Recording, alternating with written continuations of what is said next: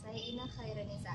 Saya dari Tadris Matematika, Fakultas Ilmu Tarbiyah dan Keguruan IAIN Syekh Nurjati Cirebon 2017. Pada kesempatan kali ini, saya akan menampilkan video pembelajaran psikologi pendidikan tentang evaluasi hasil belajar. Evaluasi dalam suatu pembelajaran memiliki peranan yang sangat penting, terutama bagi kita khususnya calon guru. Dengan adanya evaluasi ini, kita bisa mengetahui pemahaman peserta didik dan juga bisa mengetahui seberapa besar tingkat penguasaan materi peserta didik terhadap apa yang telah kita sampaikan sebelumnya. Selain itu, evaluasi hasil belajar juga bukan hanya untuk menjadi penentu akhir suatu pelajaran, melainkan dengan adanya evaluasi hasil belajar ini juga kita bisa menentukan pantas atau tidaknya untuk meneruskan suatu materi kepada peserta didik.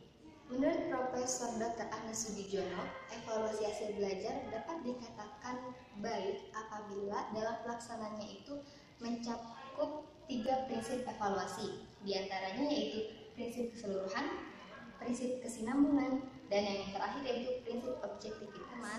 Di sini yang pertama yaitu prinsip keseluruhan. Prinsip keseluruhan ini bisa juga dikatakan dengan prinsip komprehensif bisa dilihat dari artinya di sini yaitu prinsip keseluruhan memiliki arti secara bulat, utuh dan menyeluruh.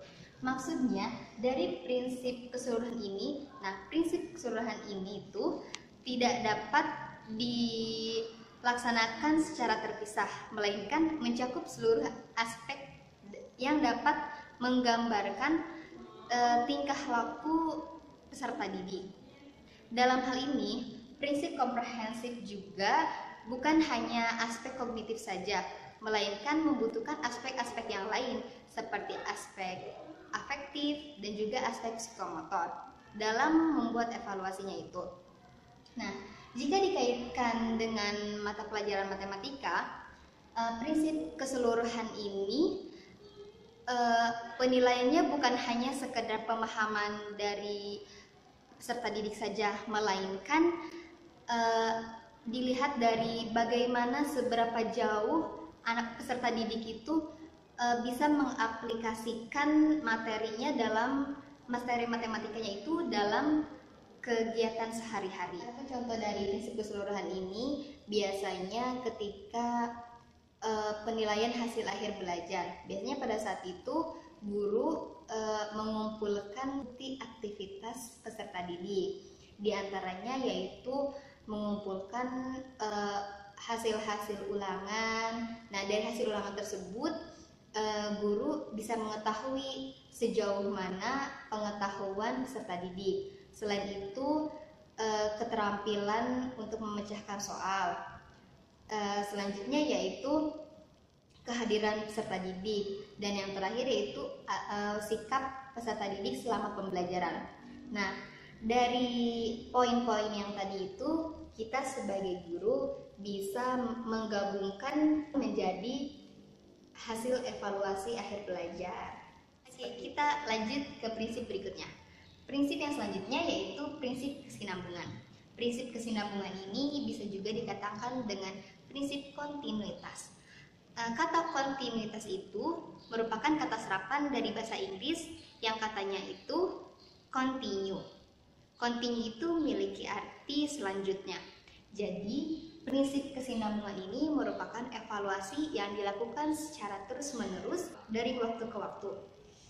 Nah, e, prinsip kesinambungan ini dari prinsip kesinambungan ini guru bisa mendapatkan informasi bagaimana perkembangan peserta didik dalam suatu pembelajaran mulai dari awal pembelajaran sampai akhir dari program pembelajaran tersebut. Adapun contoh dari prinsip kesinambungan atau prinsip kontinuitas ini, misalnya ketika guru melakukan suatu KBM, nah suatu KBM ini merupakan kegiatan yang terus meneruskan, nah di mana guru itu mengajar setiap pertemuan, mengadakan kuis, mengadakan UTS sampai UAS. Nah, dari poin-poin itu, guru bisa mengetahui bagaimana perkembangan peserta didik di, uh, mulai dari awal sampai dengan akhir. Apakah peserta didik itu uh, melalui proses-prosesnya itu dengan baik atau tidak. Seperti itu.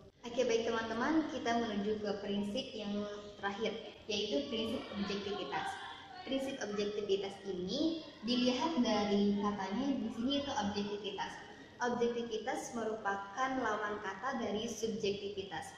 Nah, bisa ditarik kesimpulan bahwa arti dari prinsip objektivitas ini yaitu evaluasi yang menjauhi dari faktor-faktor atau unsur-unsur kesubjektifan.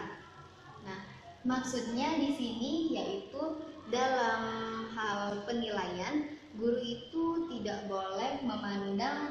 e, secara subjektif. Maksudnya, meskipun peserta didiknya itu tetangganya, saudaranya, atau bahkan anaknya, e, guru itu harus memiliki prinsip objektivitas. Jadi dalam penilaiannya itu ya seadanya sesuai dengan kemampuan peserta didik.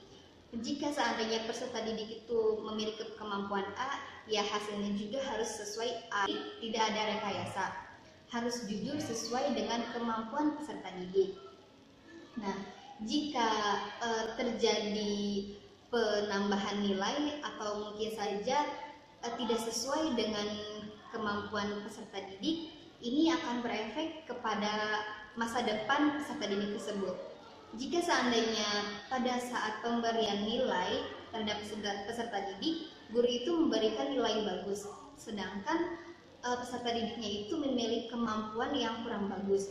Nah, ini akan berefek tidak baik kepada peserta didik. Nantinya, ke depannya itu peserta didik tersebut akan e, istilahnya itu keteteran ya dalam menuju e, proses pembelajaran berikutnya.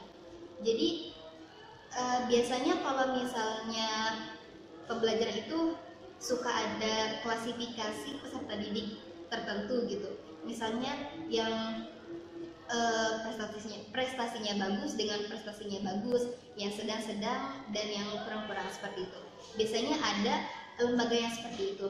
Nah, jika hal tersebut diterapkan, uh, maka nantinya ke depannya itu si peserta didik tersebut akan keteteran karena ketika uh, dia dimasukkan ke dalam uh, ruang lingkup yang peserta didiknya itu bagus gitu kualitasnya, sedangkan dia kurang bagus, jadi sampai mengalami gangguan psikisnya dia merasa tertekan gitu dengan adanya adanya suasana yang tidak sesuai dengan kondisinya saat itu. Teman-teman itulah pemaparan dari saya mengenai prinsip-prinsip evaluasi.